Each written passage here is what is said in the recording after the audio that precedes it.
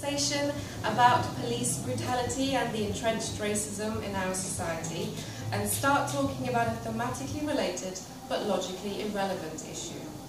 Like Syrian refugees coming into our city to commit terrorism, say we're not only a tolerant society, but far too much so. Add some leading questions like, if the government asked you to house two Syrian refugees today and they started telling you to wear a burqa, would you stay? Ignore the social climate that creates refugees in the first place. Ignore the plight of the majority of refugees and equate black people with extremists. Mention a black president. Whatever you do, ignore the specific points of the original conversation about police brutality. Subtlety is your enemy. Two, deny your privilege. Give examples of white, straight, cis, middle class men going through hardship and pretend that privilege is absolute, not relative. So your first world problems prove your lack thereof. And to top it off, argue that minorities get special treatment now because of quotas and PC language requirements. Three, present logical fallacies as facts. The naturalistic fallacy is a good one. Take a conversation about accepting homosexuality and start talking about Animal Planet documentaries and your biology textbook. This is how nature intended for people to have sex. Pretend that sexuality is only about sex and the body parts combined. Start talking about how paedophilia is becoming recognized as a sexuality and soon, down the slippery slope, we'll start having paedophilic parades. Claim a tolerant view but set conditions. You're not a racist, but you'd feel uncomfortable if your daughter brought home a black man. It's not that you have anything against gay people, but you just don't like the way some of them parade their pride like it's something to be happy about. You respect women, just not the ones that don't respect themselves and wear miniskirts. Labor these points, paraphrase them in as many ways as you can think of, because they're the most reasonable sounding arguments you have to offer. 5.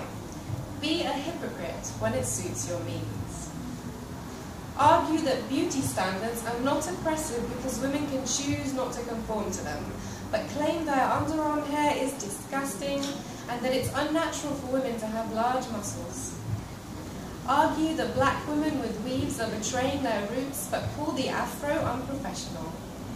Argue that bills should be split 50-50 but it's a turn off when a woman earns more than you. Argue that gay men are not real men but if they want to be respected as such they should act more like men. 6. Make up statistics to justify your point.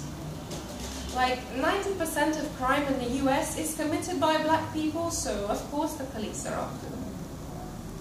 If asked where these statistics come from, cite The Onion or the Daily Mail. 7. Denounce your debate partner's source of information without sound or specific reasons. Tell them you've had enough of experts from organizations with acronyms you trust advice from real people with real jobs like the Sun columnists. Call them uninformed because they've been trusting the wrong sources of information. Speak about the importance of distinguishing evidence from propaganda, thus implying that you are able to do this while your debate partner is not. 8. Patronize, infantilize, or otherwise insult your debate partner lest you run out of points related to the argument itself, or if you feel threatened by it. Resort to attacking the ego of the other person. Point to their social class, level of education, their accent, financial situation, or something from their past. Or nine, police their tone of voice. Tell them they are too emotional, their emotions getting in the way of thinking straight. Alternatively, if they appear calm and confident, call them arrogant and if they are female, call them a bitch. Or 10. Tell the person how to feel. Point to those experiencing extreme misfortune or greater degrees of the discrimination they complain of. Compare this to your own problems. Tell them they are overreacting and must be grateful for their lot in life. This way, you assume authority over what constitutes a valid emotion, implying that what you believe happened to them is more important than their lived experience. 11. Beat them with experience. Make a point of the age difference between you. Tell them that when you were their age, you used to be just as idealistic. Tell them they'll change their mind and should have this conversation with you in 10 years' time. Play on the premise that experience is quantity, so their worldview is bound to expire with age. Make sure there are no older people who disagree with you. If you must address the caveat that you do not, in fact, have any meaningful experience with black or gay people, mention that time at university or that time you went on holiday to London.